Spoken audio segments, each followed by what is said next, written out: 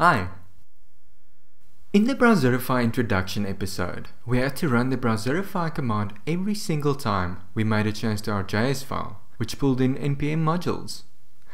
Obviously that can't work in the real world, we want to automate it somehow. In this episode, I'm going to show you two ways of automating it, although there are a bunch of ways of doing it. We're going to use the Watchify module to automatically compile the file and we're going to have a look at a simple Express setup where we introduce the Browserify middleware module to compile all the files in a directory and make it available for consumption by the browser. In the previous episode, we coded up this amazing piece of art. It pulls in both jQuery and Lodash from npm and spits out a beautiful unordered list of numbers. The problem is, we had to rerun the Browserify command every time we changed our file.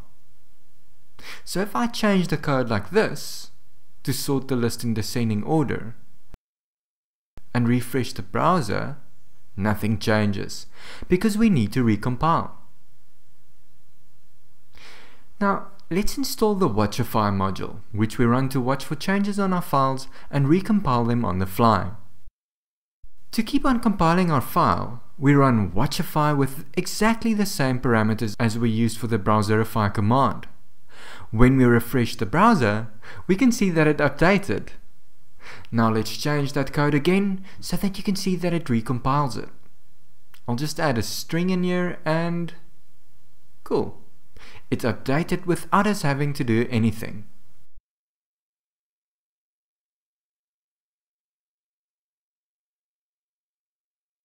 So that's cool. That's a good way to get started.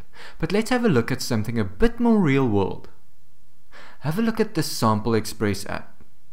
It's got a public folder configured and I've moved the HTML over to the public folder. I've moved the bundle.js file into a JS folder. What's really important to note here is that the bundle.js file is not in the public folder, so it won't get served with the Express app as it stands now. When we hit the index.html file in the browser, you see that we get a 404 here. That's totally expected. So to compile our file with middleware, we install the Browserify middleware module. And in our main express file, we require this module. Okay, so this is the important part, so pay attention.